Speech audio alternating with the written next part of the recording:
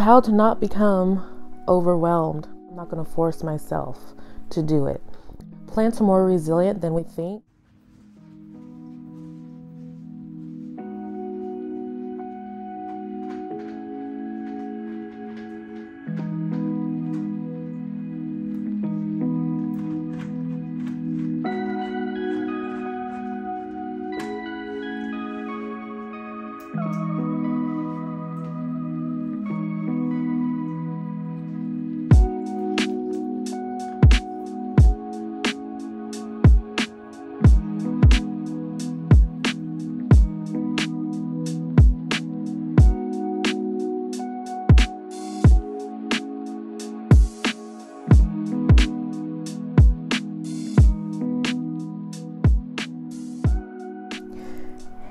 Hey guys, so I just wanted to be just more a little bit, I guess, candid and just real.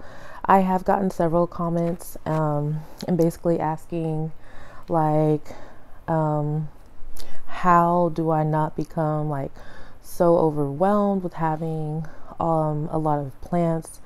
Um, just basically, like, how do I do it? And honestly, I mean, with everyone all plant collectors, everyone who loves plants. I mean, we do have other things in life, um, full time jobs, family, I mean, animals to care for, and just other aspects of our lives, including plants. And those times it can become, and it does become, overwhelming to where you don't even want to deal with your plants. And that's, well, for me, my personal experience. And so, just to put into perspective, I just got back from my Mexico trips, my Mexico trip 2 weeks ago. And I haven't done any really done anything to my plants at all, which is why also I'm doing this video because I do have a lot of house plant chores to do. I've only watered plants here and there to where they were super droopy and I was like, "Okay, let me water you." But other than that, I have some plants that um, I still have my aglaonema, the one I did a few videos back, to where she had mealybugs. Hey, I still need to um, treat her again. I haven't dealt with her. There's plants that are extremely droopy, plants that are, that are extremely dry, and just a lot of plants that need my attention. However, yeah, it's been almost two weeks since I got there. I haven't done any plant things. Why? Well, because life happens. I do have a full time job and it's been crazy busy, which is good. And so I don't always feel like wanting to come back home and work more to tend to my plants. So, I mean, things happen, and you'll see. I'm going to show you all my plants that have been unfortunately neglected, but they're not um, dying, thankfully, but they're just looking rough. How to not become overwhelmed. Honestly, whenever I'm in a state of work or just personal life and I'm just just not feeling it, I don't do anything. I mean, that may sound crazy, but it's as simple as that. If I'm not in the mood to do anything plant related, I'm not going to force myself to do it. At first, when I started getting into plants, um, almost three years ago, whenever I saw a dead leaf or I saw a plant that was extremely dry, I was like, oh my gosh, I need to hurry up. Like I dropped whatever I was doing, stopped whatever I was doing, and I went ahead to water it or to tend to it. I was like, oh my gosh, I don't want anything to happen.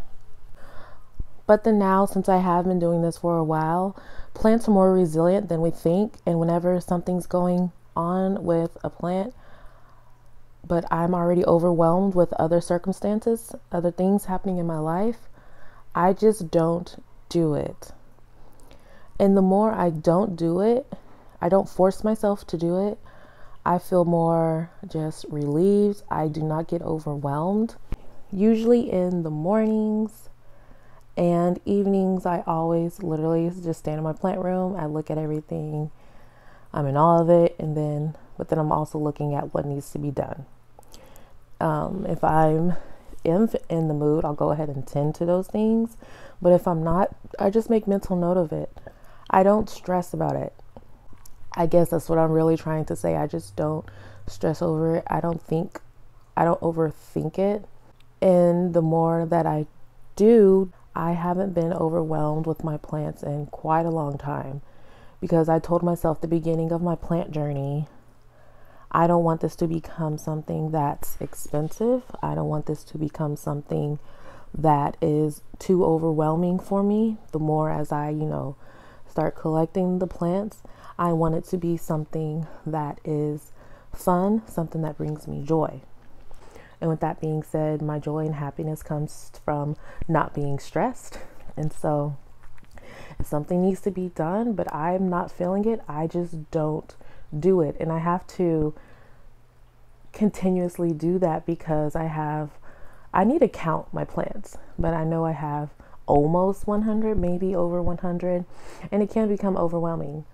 So it's been two weeks, and now I'm not as drowned in work, and so I can tend to them. And I hope that this may help someone who does feel overwhelmed or who, or maybe you haven't gotten a lot of plants because you know that you will feel overwhelmed and just don't want to have that burden.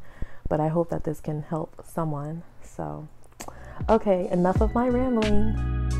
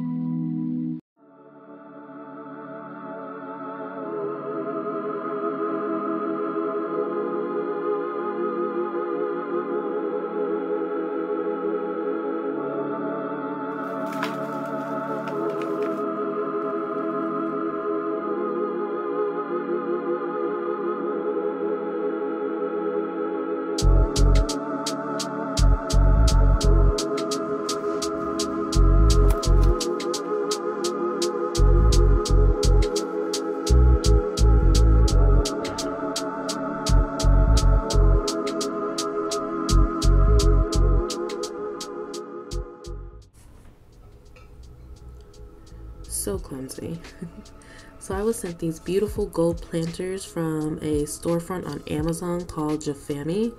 These are absolutely beautiful and you can save 10% by using my code Janee10P.